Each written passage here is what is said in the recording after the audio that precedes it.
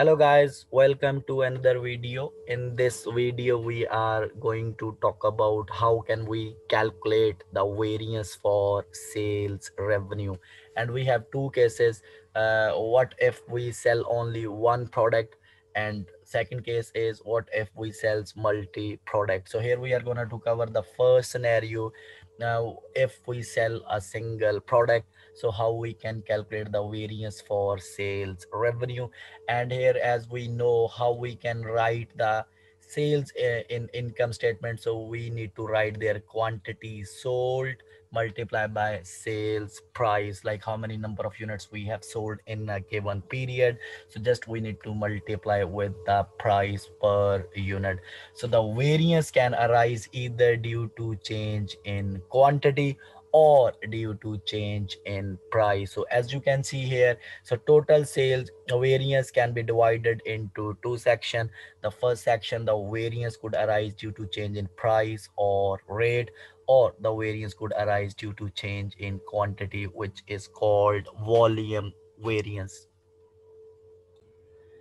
Sales variance analysis is used for evaluating not only the production function but also the selling function. Now the price or the rate variance for a single product the sales price variance is the change in sale revenue attributable solely to the change in selling price and holding quantity constant here.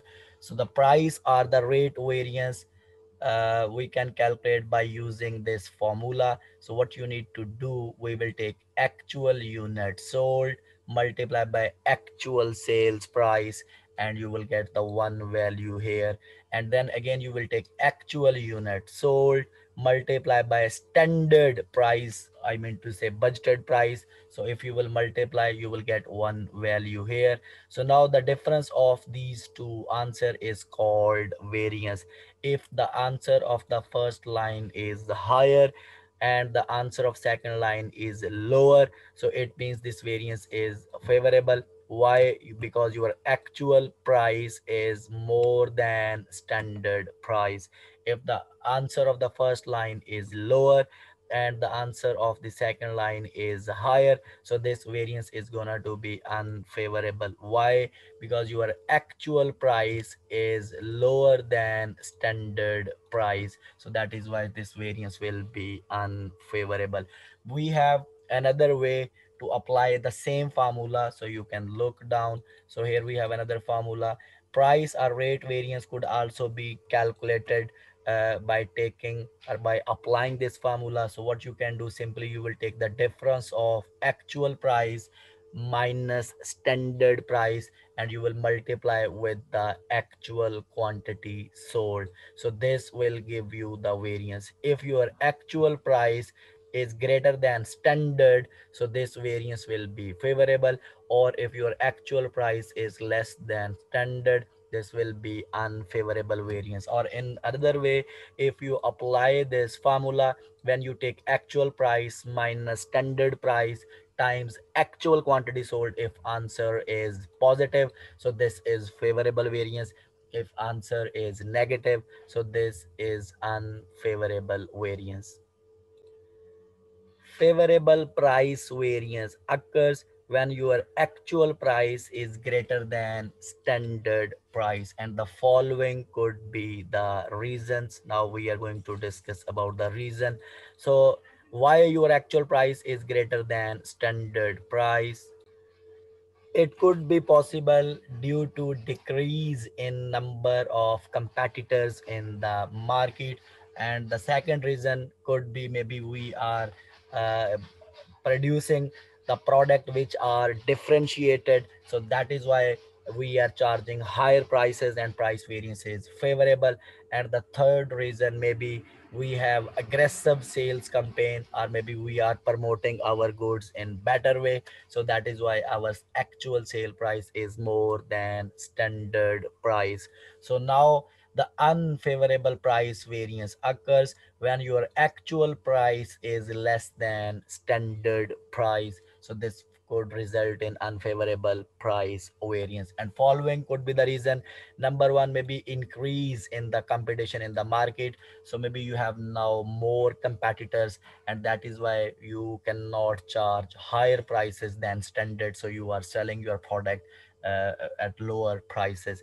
And the second reason could be maybe there is a decrease in the demand of the product. Maybe people are not ready to buy the product so or maybe they are not willing to buy the product. So that is why you are forced to decrease the prices.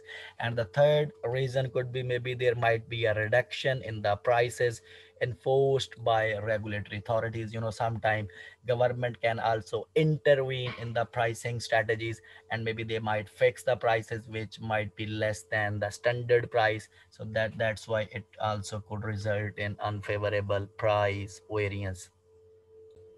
Now we are going to talk about the quantity or volume variance. As you can see here.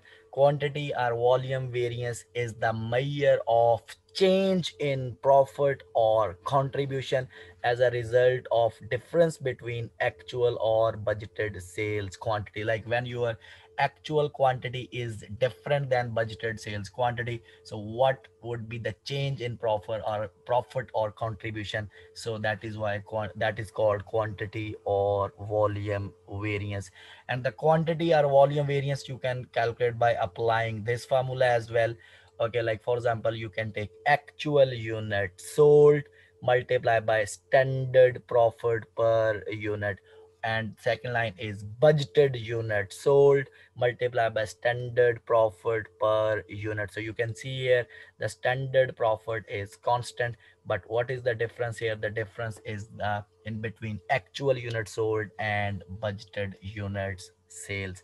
So that is why it's called quantity variance. So once you will multiply actual units sold with the standard profit and budgeted unit sales with the standard profit so you will get two answer here and this is called your variance. But if your first line uh, line of the answer is higher if first answer is higher and second line answer is lower this variance will be favorable.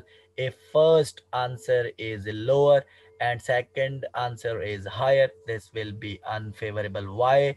Because if your actual unit sold are greater than budgeted unit sold it is favorable otherwise it will be unfavorable. We can also write the quantity or volume variance formula in this way as as well. So as you can see here you can take actual units sold minus budgeted unit sales times standard profit per unit. If answer is positive this will be favorable variance. If answer is negative this will be unfavorable variance okay? So now here is the trick. This is really important point. Like what does mean by standard profit per unit? Because this value we also used in the above formula. So the standard profit actually it depends upon and the costing system like which costing method we are using. So it's really important. So you have to check this point in the exam question as well. So if company is using variable costing so the standard profit per unit is always equal to standard contribution per unit. Like as i told you if company will use variable costing so the standard profit is equal to contribution. Don't forget this point. And if company is using absorption costing so the standard profit per unit is always equal to standard gross profit per unit. Now the question is that how we can calculate these two components. If you are required to calculate the contribution per unit which is equal to standard profit so how you can take you need to take budgeted sales price okay? And from the budgeted sales price you need to subtract all variable cost which might include what? Cost of material it can include the cost of labor it can also include the variable overhead production cost it can also include non-production variable cost like selling cost etc so if you will take sales minus all variable so this will give you standard profit or contribution per unit which you will multiply here. But if companies using absorption costing you have to calculate standard gross profit. Whenever we use the word standard gross profit it means it's a budgeted gross profit and this is how we can calculate. It is under absorption costing. We need to take budgeted sale price and we will subtract here all production cost production not the non-production. So production cost might include the cost of material cost of labor variable production overhead and fixed production overhead. So all this is the budgeted data huh? So we will take the budgeted sale price minus all budgeted production cost. So you will get standard gross profit per unit. So now this is really important point. So now we need to understand unfavorable volume variance. This unfavorable volume variance occurs when your actual units sold are less than budgeted units sales. And following could be the reason. The first reason could be the change in trend. If a company introduce a new and advanced version of the product it affects the sales of the previous version as we know because customers shift to the new product. So this could be the reason for unfavorable volume variance. The second reason could be the change in law. Uh, if the government will change the law for the foreign trade policy and has restricted export of the some product, so this can also result in unfavorable volume variance. And the third reason could also be uh, the change in price. If the production cost increases and the management may decide to increase the selling price of the product, so as per the law of demand price and quantity have adverse relation. Whenever there is an increase in price due to increase in cost so this might result in unfavorable volume variance. The fourth reason might be the competition. If competitors will launch the new product it might also affect our sales volume variance adversely. So these are the reason for unfavorable volume variance. Now we have uh, favorable volume variance Favorable volume variance occurs when your actual unit sold are greater than budgeted unit sales. And the following could be the reason. Maybe the possible causes of favorable sale, sales uh, volume variance include maybe it is a reduction in the competition. That is why you can sell more units in actuality. And maybe there is a decrease in price so maybe that's why you your uh, demand has increased. Maybe there is an elimination of trade restriction uh, previously imposed. So these all could be the reason uh, could be the reason for favorable volume variance. Please don't forget the formulas for sales price variance and sales volume variance. Uh, just to memorize the formula you can just go back and you can check those formulas. So here we are going to practice the questions now. Let's assume we have a question number one. Uh, let's assume you are provided with the following information. Actual and budgeted information about the sales of the product are presented as below. So this is the actual information and here you have a budgeted information. For example here he told you units. Actual units are 8000 and budgeted units uh, were 10000 sales revenue in dollar actual sales revenue is $92000 and budgeted sales revenue is $105,000.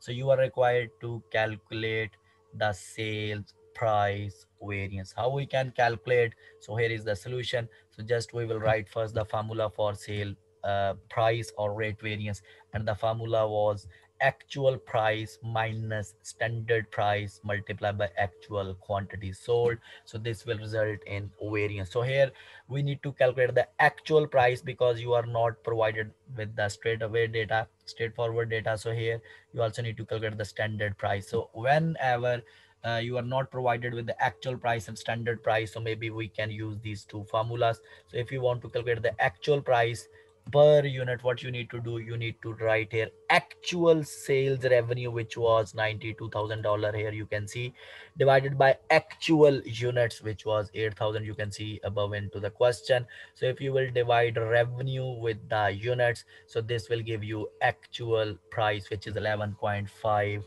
zero dollar. So if you want to calculate now the standard price for the standard price what you can do you need to write here budgeted sales revenue which is hundred and five thousand dollar divided by budgeted units which are ten thousand units. So if you will divide you will get the standard price or the budgeted price which is 10.5 dollar.